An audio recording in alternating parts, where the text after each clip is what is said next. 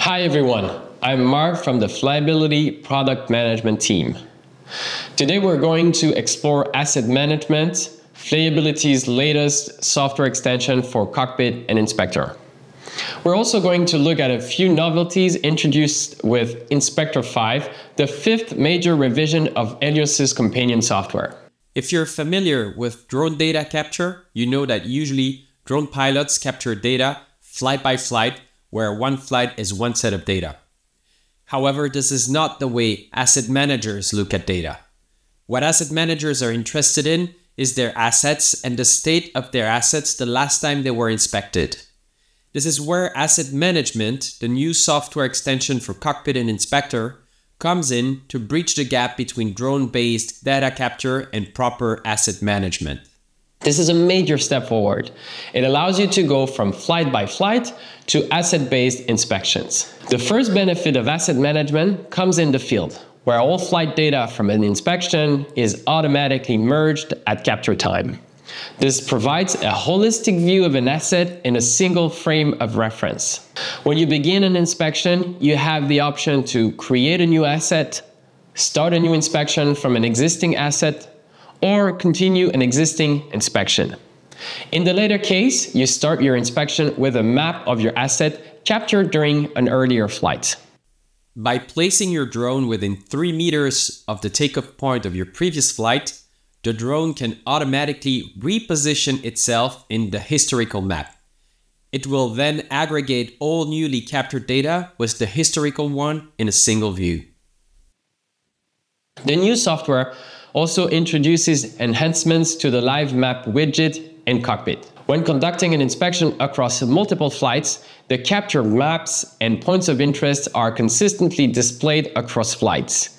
This helps pilot easily assess project completeness. This feature is particularly useful in large-scale projects.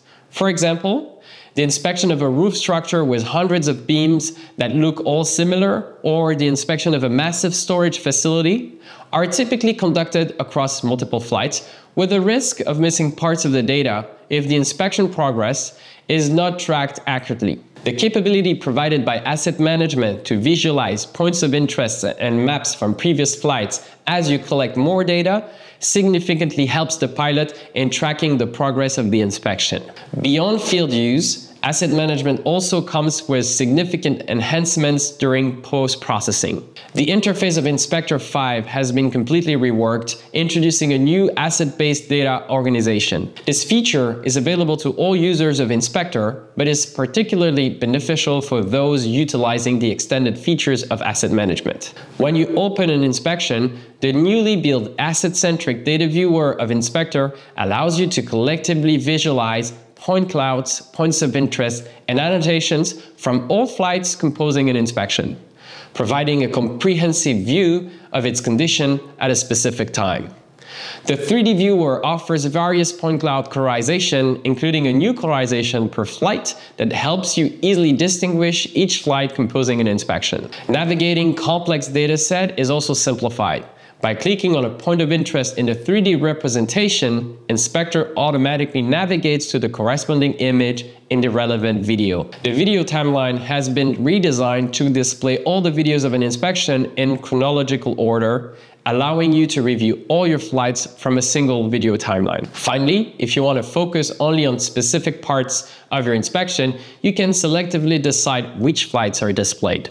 In the latest release of Inspector 5, we're introducing a new report builder that offers greater flexibility in choosing what to include in your report.